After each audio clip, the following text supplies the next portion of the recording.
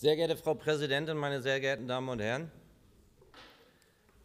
Das ist schon für jemanden, der ein paar Tage jetzt nicht mehr bei der Bildungspolitik dabei ist, insbesondere dann der fundierte Redebeitrag von Frau Oldenburg mit sehr praxisnahen Bezügen, schon sehr beeindruckend gewesen, das muss ich sagen.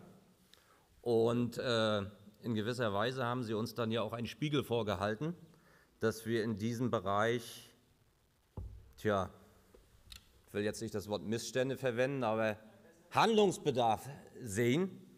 Und insofern, denke ich, können Sie politischen Erfolg für sich sozusagen verbuchen beim Antrag der BMV, dass wir dieses Thema jetzt weiter behandeln wollen, und zwar im Ausschuss, wo es dann hingehört. Also, herzlichen Glückwunsch für diesen politischen Erfolg.